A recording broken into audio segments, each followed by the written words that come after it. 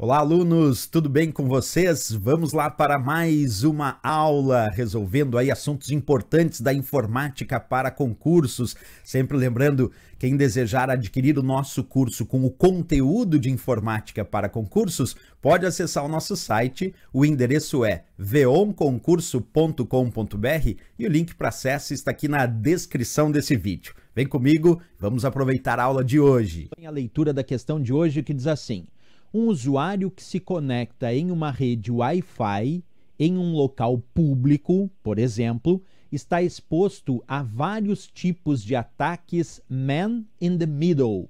Certo ou errado?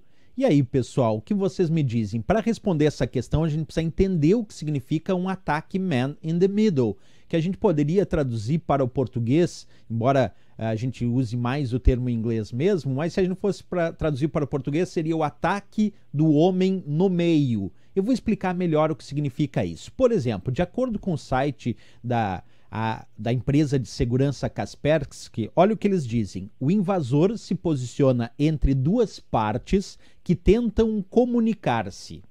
Então está lá o invasor no meio, quer dizer, é um homem no meio lá entre duas partes que tentam se comunicar.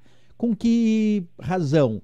Intercepta mensagens enviadas e depois se passa por uma das partes envolvidas.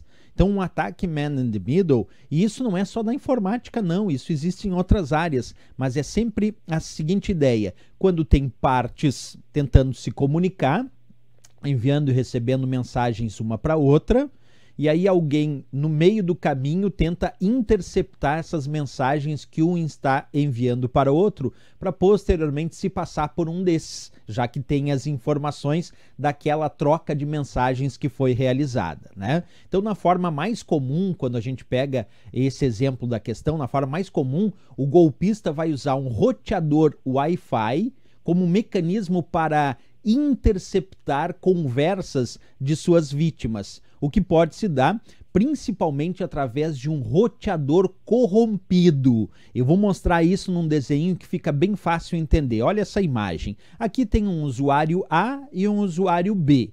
Esses dois usuários estão se comunicando, beleza? Através de conexão Wi-Fi, como eu estou mostrando aqui um roteador Wi-Fi. Vamos imaginar agora que esse roteador Wi-Fi foi corrompido de alguma maneira pelo golpista. Quer dizer, o golpista de alguma maneira corrompeu o roteador Wi-Fi. E agora, enquanto A e B ficam trocando mensagens, esse golpista fica capturando as mensagens que A está enviando para B. E de repente, agora ele vai se passar pelo B e aí o começar a mandar mensagens para o A como se fosse o B e o A vai acreditar que é o B que está mandando aquelas mensagens. Então esse é um exemplo de um ataque man in the middle usando uma rede Wi-Fi. Aí por que, que nós temos que cuidar em redes públicas? Porque imagina se você vai, por exemplo, num shopping, lá na praça de alimentação de um shopping e tem uma rede Wi-Fi que o shopping ofer oferece. E aí você usa essa rede Wi-Fi. E aí um outro usuário lá também usa essa rede Wi-Fi e de repente tem algum golpista que está lá também usando aquela rede Wi-Fi que é a princípio no ambiente público.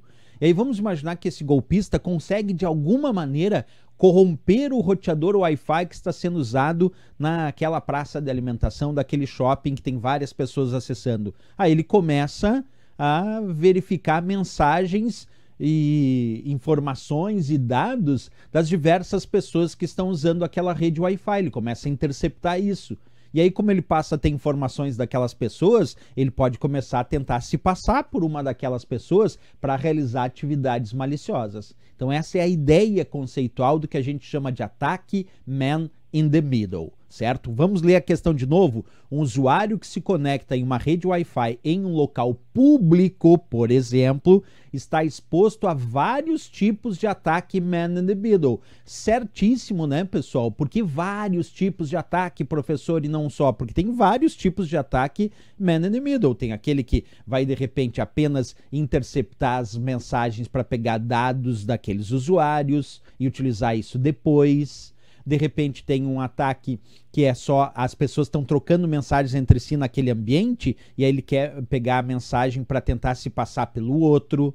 Então, tudo isso resume a ideia de que nós temos vários tipos de ataques man in the middle, mas a essência desse tipo de ataque é quando tem um homem no meio interceptando mensagens que ocorre entre dois ou mais participantes, como a gente viu aí. Por isso marcamos como certo. E claro, quando uh, há o uso de uma rede Wi-Fi em um local público, é muito mais perigoso, é muito mais provável que tenha algum golpista tentando realizar um ataque man in the middle do que numa rede privada, por exemplo, que é muito mais vinculada àquelas pessoas ou àquela empresa, àquela instituição. Então, o maior problema é quando nós estamos nessas redes públicas uh, que usam Wi-Fi público para vários outros usuários, aí sim o ataque man in the middle fica muito mais uh, perigoso, muito mais suscetível a acontecer. Então marcamos como certo, sem dúvida nenhuma, essa questão. Era isso então, mais um vídeo aí trazendo informações importantes do mundo da informática para concursos. Se gostou do nosso vídeo,